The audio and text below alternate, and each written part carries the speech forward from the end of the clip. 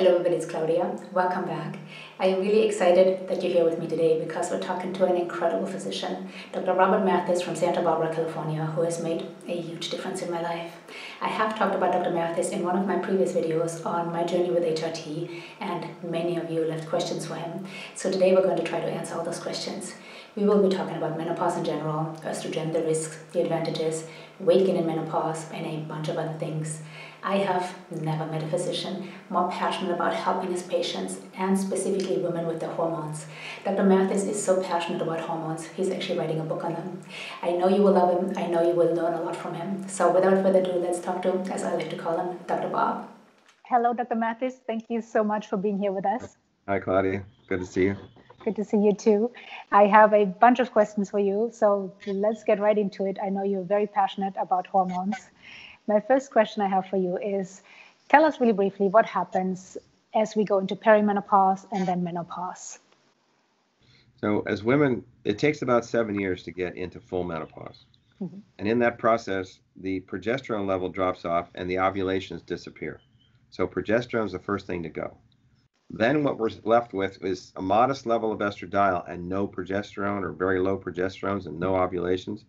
And for some people, they label that as estrogen dominance, and they're very concerned about that being a time when estrogen, the grow message, is just being sent out every day, all day long. And I don't, I don't disagree with that. I think that that's probably what happens.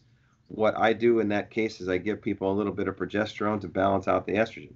So they still have good estradiol, but their progesterone's gone. So I give them a little progesterone in a rhythmic fashion. They keep having cycles. And then as the time passes of two or three more years, they'll come back in and all of a sudden their estrogen's gone and now we have to give them both estrogen and progesterone. When the hormones go away, then a lot of all the different body systems that are that are signaled by the estrogen and the progesterone don't receive their signal, their message. Mm-hmm. The collagen messages, the grow collagen, skin messages, brain function messages, estradiol controls energy in the brain. When you lose your hormones, you're losing these messages that promote health and well being in a vascular system, the heart, the brain, the body tissues, the connective tissues.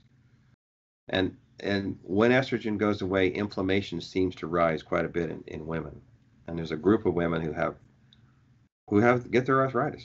And it seems to come on right in that hazy window of menopause, where menopause kind of starts and the arthritis has been kind of getting worse as the estrogen levels drop. And when they finally get to no estrogen, that's when they, their joint inflammation and pain sort of seem to flare. And then the foods will aggravate that, so we have to be very careful with foods too. I think it's just important to know that that's that message that the hormones provide to the body. The only way that gets that message is from estradiol, bioidentical estradiol. It can get a false message from xenobiotics, which are things that look like hormones, such as BPA, which is in the cans, inside cans, and on all the receipts that we get from the store, they're all BPA coded. So we have to be careful about handling those. So there's false estrogen messages, which can lead to false messaging and false signaling to the cells, which can cause other changes that aren't necessarily favorable. Um, and then there's the absolute absence of, of any kind of message. And for those people, I mean, I have women with estrogen levels of less than five. Wow and it's just it's so low. Some people can't function. Yeah. they just i mean i had a phd candidate come in here and she was in she was in shambles. She just said i can't do my program. I need to quit. I, I have to somebody told me that you know something about hormones and what can i do? So i gave her some hormones and within two weeks she came in and said no problem. I can do my program now. I can write my papers I can do that paper in three days, which would have taken me three weeks before because the brain wasn't working. And she had no stress tolerance. She couldn't, she just couldn't see see the the future for the moment. And that's what happens when you get so stressed out that you can't see down the road. You're stuck in this minute and you feel all this pressure and you but with estradiol it empowers women. And when you empower the person, they feel so much better. They can handle the kids. They can handle the grumpy husband when he comes home from work. I mean, you know, it's like, yes, honey, I know you had a hard day. I'll be right there. I mean, you know, you just just take care of business. Maybe I need a little more estrogen. yeah. okay, good. so I know that you're a proponent of replacing hormones. So am I. But is there a risk if a woman doesn't want to replace her hormones or doesn't feel the need to replace her hormones? What are the risks okay. there? So when I I have several people who've walked in and said I'm not doing hormones, mm-hmm. and her estrogen level is like less than 15, and it should be 175, 250 somewhere in that area, and and progesterone should be a number you know three to five. The answer is when I look at that person, I see because of the knowledge base that I have about how the hormones affect all the different systems, which we just briefly went over, mm-hmm. I see a person who's going to possibly deteriorate over time. Mm-hmm. The issue is the body is so redundant. There's so many safeguards built into the system because whoever designed a system said it needs to have 10 times the ability to do whatever it's supposed to do. Because otherwise, you can't run down the street and get away from the dinosaur. So we can ramp up our cardiac output 10 to 20 times greater. We can ramp up all these other systems. We can stay awake for days, take little cat naps, and, and keep working if there's something has to be taken care of. Not forever, which some people try to do, then they crash and burn. But the body's redundancy allows us to think we can get away without the hormones. And so we'll go for five or 10 years We'll get to be 70. They're, they're, this happens at 50, and all of a sudden they're 20 years later at 70. And now they're starting to notice word finding issues, they're having difficulty with memory. They feel a little stressed. You know, they're driving the car and they feel like they're, it's a little harder to drive because they feel like that car is next to them a little too close. Whatever. Mm-hmm. I mean, it's just, it's the world isn't the same without the hormones, the way they interpret, the way they feel in the world. So that happens at 70. By the time they're 75 to 80, now we're kind of heading into that Alzheimer's dementia kind of area. 80% of dementia patients, Alzheimer patients, are women. Wow. Why is that? Because they're without their hormones for 40 years before it happens, 30 years before it happens. So it takes that long to really notice. Okay. So some people would say, well, it's going to take 30 years. I don't need to worry about this. I'll, I'll just do this. I won't worry about getting cancer. Well, we can explore that topic too. Yeah. Real briefly, what about the bones and the heart health? How is that affected so, by the loss of hormones and not replacing the, them? The, when I have women who have osteopenia or osteoporosis, if I put them on rhythmic hormones, it takes about 18 months to rebuild the bones. Mm-hmm. So you'll see a person go from minus three on their T score all the way back up to minus one. It's it's amazing. The first time I saw that, I was well, I was just, you know, as a as an allopathically trained physician, I can't believe that I just reversed osteoporosis. But the answer is I did. I mean, I didn't do it. The estrogen did it. I all I did was promote the estrogen in a pro, in a positive way to the to the woman, and she chose to use it. And then her bone density on t- testing, in two years later, was normal. Yeah. And what do you do with that? I mean, how do you how do you take that information and ignore it? No, I can't do that. I mean, if my goal is to help patients and my goal is to take care of the patients and optimize their health, then I must pay attention to the fact that I've just taken bioidentical hormones and optimize their health to the point where cardiac health, brain health, vascular health, connective tissue health, all these things related to hormones when I get done writing the book on estradiol, it'll all be in there, all the different systems and how it affects them. One, one little chapter after another, you know, neurologically speaking, works better with estradiol, helps manage Schwann cells and so forth. The gut, the GI bacteria, the gut mm-hmm. microbiome is different in women with hormones than it is without hormones. Mm-hmm. Bad guys move in and take up housekeeping when you lose your hormones. Interesting. So it becomes time to face the truth.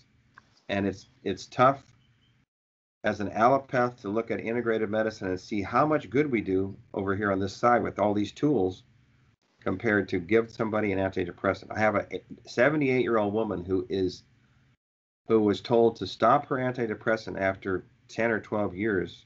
Just stop it by her doctor. And as a matter of fact, that stopping caused her to go into a terrible place because you can't stop antidepressants. You have to taper them off. And I'm trying, the family brought her in here, and I'm trying to help her get off. She had to go back on them, and I'm trying to help her get off of them while she's still alive, mm-hmm. if we can, and make well, her feel like a whole person. Let's talk about that really fast. You brought up antidepressants. A lot of women, when they go into menopause, are being put on antidepressants because we get depressed, we get anxious, we can't sleep. What is the connection there between the loss of hormones and those things? So, estradiol manages an enzyme that stops the breakdown of serotonin. When you lose your estrogen, now the body can break down serotonin. So, it makes sense to give people an antidepressant which raises serotonin levels when they're in menopause. It doesn't fix the problem. In fact, the antidepressants create a depletion of serotonin in time and create a secondary problem, which is what this 78 year old is having. She got so depleted in serotonin that when they stopped the drug abruptly, they created a huge problem for her with side effects. She doesn't feel like herself. She's very confused and so forth and so on. So, estrogen helps raise serotonin, helps provide more sleep, which allows for less depression provide more sleep allows for more better function so you don't get so depressed. I mean, when you can't do what you want to do and you can't remember what you're supposed to be doing, I mean, who doesn't get depressed? Yeah. So these mechanisms are clear. And when you give people, I mean, I've had people come in here not sleeping a couple hours a day. She was sleeping two hours a day. Now she's sleeping five hours a day. But gave her a dribble of estradiol. I mean, it's just a little tiny bit for a 78 year old, and it's just that's all it took to just help her feel a little better. And that's well, the goal. When, when I met you, I couldn't sleep at all either. So you have helped me dramatically with that through hormones. Right. But so we talked about the risk of not replacing hormones. I think so many women are afraid of replacing hormones because of the potential risks, right. cancer. And can we talk a little bit about that? What okay. What is your opinion on that? So I've been replacing hormones now for about 14 years. Mm-hmm. And what I've seen is that number one is I've had about four cases of cancer in 14 years, which isn't much compared to a 2,000 population of patients. That's not much at all. Mm-hmm. And from one point of view, cancer is an insidious, probably a genetic aberration that happens. Inflammation, inf- more inflammation, more inflammation changes the genes. The genes become wacky, so to speak, and the cells don't function the way they're supposed to. They just start reproducing and they don't, there's no control. All right, so that's cancer. That's not caused by hormones because if estrogen was would cause cancer, then all pregnant women would die. That's true. Estrogen levels in pregnancy are over 3,000. Wow. Estrogen levels in normal young women are somewhere in the 185 to 325, 395 range depending on the person. So hormones don't seem to be the cause of cancer because otherwise all these young women they all be dead. Every month they'd have these estrogen peaks and they go, yep, that another one died. But that's not what's happening. okay. And pregnant women, oh my God. One woman came in here and she said, I don't feel quite right. What the so we checked her, her estrogen level and it turns out that it was over 3000 I said, I have good news. You're pregnant. She said, Oh, oh really? Okay, good. so 3,000 is, well, that's a lot of estrogen. Yeah. But it's balanced with progesterone during the pregnancy, where progesterone will go up to 50 or some other number like that. So that balance is, that's the balance of the bioidentical hormones that keeps things functioning within the genetic framework of how it's supposed to work. If we obey the genes, we do better overall than if we don't. And you also told me you have a friend who is an oncologist who has looked at this, the breast cancer risk and estrogen. Right. Tell us a little bit so, about that. Um, a local oncologist here in town, Dr. Taguchi, and she has done a study now over the last, well, since I've known her, about 15 years. And what she's found is that in her population of patients who have breast cancer, the ones who start using hormones after the breast cancer surgery, they're the patients who have fewer recurrences. People who don't use hormones seem to have more recurrence. So that's that's interesting. Yeah. And then there's a big study that was done around 2001, and it showed with I think 50,000 women that that even synthetic estrogen had fewer cancers than women who took no hormones in the control group. So again, it's the idea is estrogen is just it's a signaling molecule that tells the body what to do. Mm-hmm. It's not the cause of. It just promotes cells that have estrogen receptors. So I looked at it with these people that I had. I said, you know, the estrogen woke that thing up to the point where it was small and it was growing kind of quietly and it was going to be insidious and just take over the person's life. And then we would find it five years later and go, oh my God, you've got metastases all over the body. That's too late. We need to know now. So, so it, I it, think it could accelerate it ex- woke up existing cancer. cancer. but it doesn't right. cause it. Mm-hmm. It didn't cause it, but it did help it grow faster. And then, you know, it became visible mm-hmm. sooner. Why did these five women get a cancer, four or five women, when the other 2,000 didn't? Well, something was there, some genetic aberration, inflammation, chemicals and toxins. We have mold toxins, chemical toxins. We have just plain old stress. So the answer is all these factors are what caused all the inflammation, which led to the aberrant cell growth. Mm-hmm. And the hormones only do what they're supposed to do. They make the cells grow because that's what they do. They refresh the tissue on a month to month basis. Every month, a woman's body gets ready to have another pregnancy. Whether they do or not, but they still get ready. Once a month, the woman's body gets ready. Women go on the hormones after not being on them for years, and they'll call and say, I have breast tenderness. And the answer is the first two or three months, the breasts are rebuilding themselves. They're rebuilding all the tissues that have died off and re- revitalizing the breast tissue. You're revitalizing the whole body. You're revitalizing the sex organs. You're revitalizing the breast. You're the revitalizing bones, the, brain, the skin. The skin. The skin is amazing. What happens to women with hormone estrogen? It it it fluffs up the skin and gets rid of some of the wrinkles, many of the wrinkles, because it helps hold the moisture that's lost when people go into menopause. Yeah. So, Dr. Mathis, if a woman doesn't want to take hormone replacement, is there anything she can do naturally to help her with those symptoms, with the loss of hormones? So, the Chinese found a solution. What they did is they had pregnant women bring their urine over to this place, and the, they would take the urine and put it on a rug, so to speak, or on a flat surface, and let it dry out. And then they would scrape the powder off the carpet and then the older women would drink the powder. So that's one way. In other words, they were using, well, the estrogen in a pregnant woman's urine is very high. So that's how they got estrogen into older women. They just take the urine and dry it out and use the powder. Okay, that's just is an that idea. true, or is that you that's making true. That's hundred percent true. okay. okay.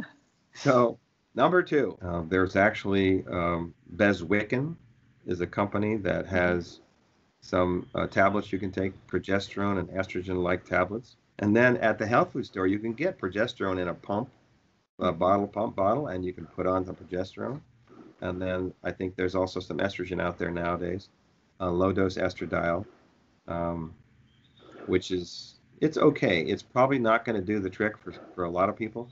It may help people who are less sensitive to the loss of the hormones, but in general, the best, and then it probably won't do much for the bone density because you really do have to have the rhythmic building the bones, break the bone down, build the bones in order to get the whole thing to work. I mean, the body is a, it's a hormonal rhythmic device. It's a biological unit that runs on rhythms and cycles. Hormones are part of life, unfortunately. So, Dr. Mathis, since we are talking about doing things a little bit more naturally, what impact do you think nutrition and also lifestyle has on the symptoms of menopause?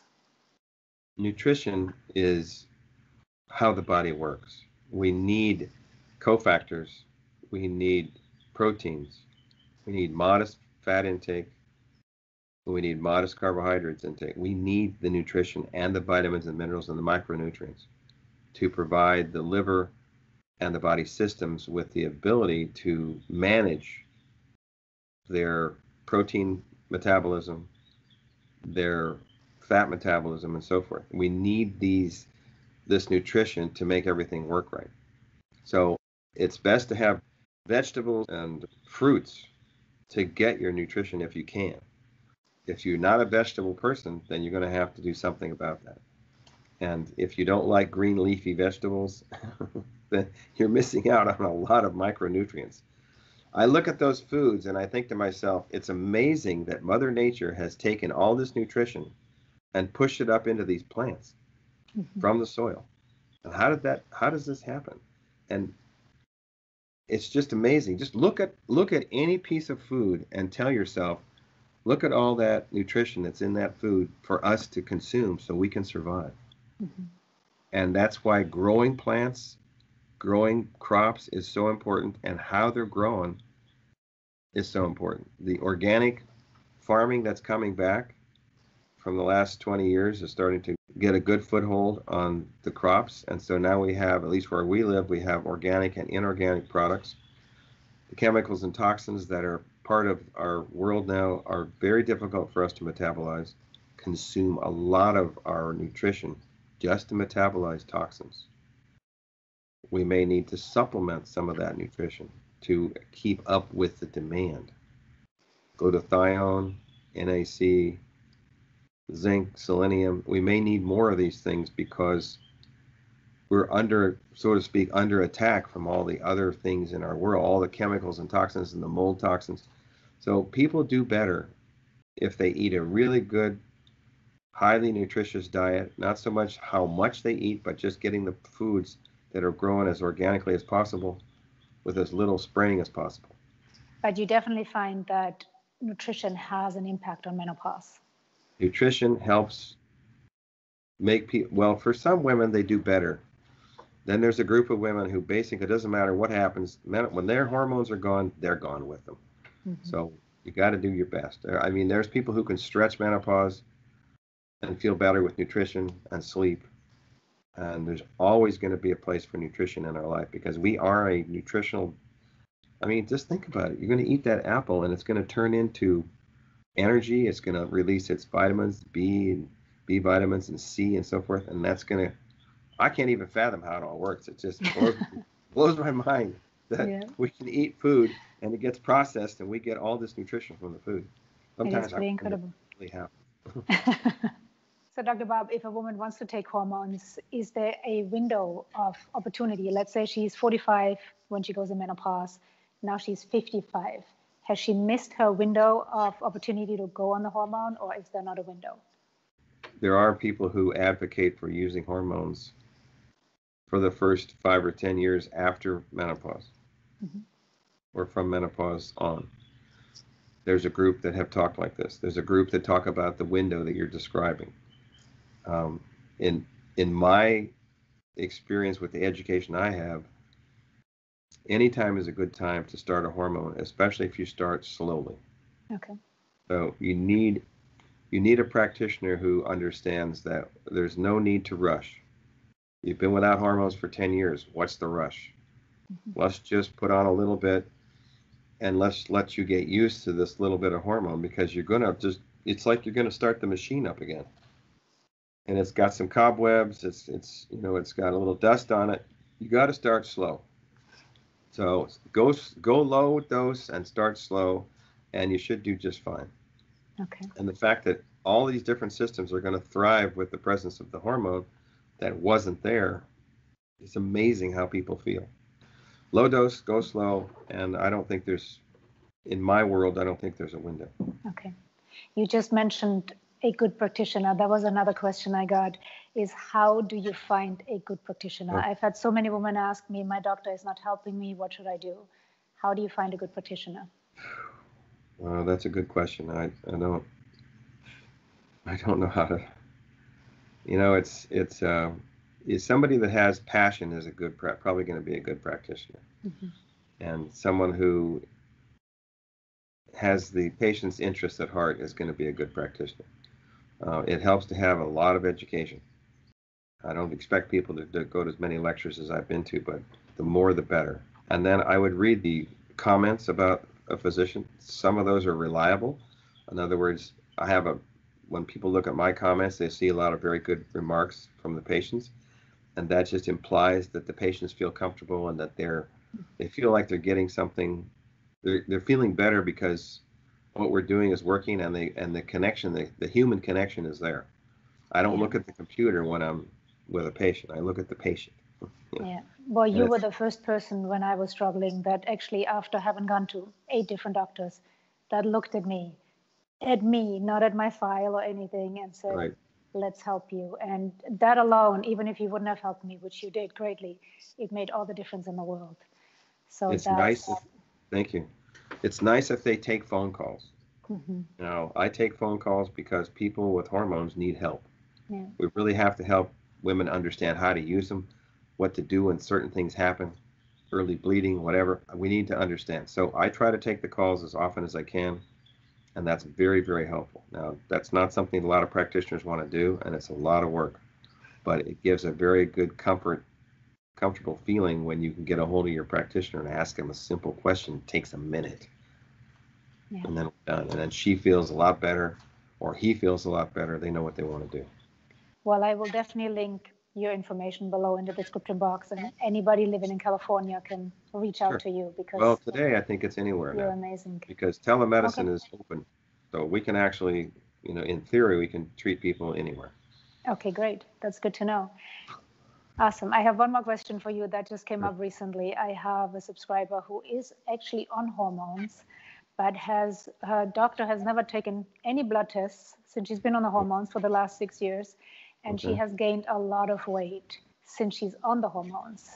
Her diet hasn't changed. She's very active, but she has gained about I think 25 pounds. So what could why first of all why do women gain weight when they go into menopause and what could the weight gain be when on hormones so weight gain in menopause makes sense because without estrogen it changes your insulin sensitivity and basic, basically people become insulin intolerant they, they just don't their insulin isn't utilized the way it should be so therefore the body puts out more insulin and the more insulin you put out the more weight you can gain Mm-hmm. Uh, it's, it's well known that diabetes patients gain weight when they start taking insulin. You have to be very careful about how much insulin you give them. I listened to a, a lecture last weekend, and they talked. He talked about using a product that raises nitric oxide. Nitric oxide can sit on this GLUT4 receptor and activate that receptor and help make you more sensitive to insulin and help prevent the weight gain. Mm-hmm. So apparently, some people have lost weight using this product. It's called Neo 40, N E O the number 40, mm-hmm. and it raises your nitric oxide level. Other things that can raise nitric oxide include green leafy vegetables, and in some cases, beets are thought to have raised nitric oxide, not to mention exercise and so forth. So the answer is um, it seems like there's a key, there's many, many, many parts to the puzzle, but this is just a part of it. Once you get the estrogen back on board, estrogen, I've had a few women who gained enormous amounts of weight on estradiol. Now, it's not common. Um, but one or two gained about the 25 you're talking about. So they basically had to quit. And I'm not sure why they gained so much weight. That's not clear to me. Um, but they had to stop or use very low doses to, to go forward. So you're saying that's not the norm that women, when they are yeah. on estrogen, gain weight. It is two more to, the norm to gain weight when they're not on estrogen. Two to three pounds, and it's basically water weight. Okay. Estrogen is actually an anorectic. So when women take estradiol, in theory, they don't eat as much food. Okay.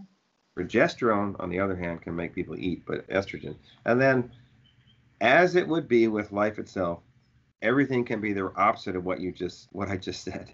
Mm-hmm. You know, some people estrogen makes them eat. So it's it's a losing battle to try to figure out exactly what's going to happen. You just have to take that person and try things with them and remember that their uniqueness requires that you attend to them specifically for their particular needs. Mm-hmm. Next person over here, whole different story. I would imagine that testing is also very important. This woman told me she has never had a blood tested since she's been on hormones. I would minimum is probably one to two times a year at least, just to make sure the hormones are stable. And for her to gain so much weight, I would want to be looking at a number of other things and look at her diabetic risk and look at her hormone. Maybe her estrogen's too high or too low. Well, this was really awesome, Dr. Mathis. I have talked to you so many times and every time i talk to you i learn something new. Is there i seriously do. Is there i love talking to you. Is there anything else you would like to add? Anything else you think is important? I just think that that we as as biological units, we need to understand that we need our life cycle, our lifestyle to be managed the best we can. Try to get as much sleep as you need. And don't pretend you need six hours because we all really need seven and a half sleep cycles. And that works out to about eight hours. And in the wintertime, there's some people who have written some literature that says that we used to sleep nine or 10 hours in the winter. Well, let me find a job that I can do that with because most of us don't have that much time to sleep. Nutrition is extremely important. I mean, what are we trying to do? We're just trying to optimize, have the best day you can have, feel as good as you can feel. And when it's time for you to go, well, then you're going to go. But in general, I just want to be awake and alert and be able to be there for my loved ones and for my patients and for our society because the happier person radiates happiness and the unhappy people radiate the opposite. so if we can, if we can be beacons of light, then we're doing a lot better in terms of spreading the, the bright light around. That is true. And you definitely do. Thank you so much for this. well, thank you so much, Dr. Mathis. Like I said, it's such a pleasure to talk to you. And I always learn something new when I talk to you. Thank Good. you so much for being here with us. Okay. All right. We'll see you later. Mm-hmm. Bye bye.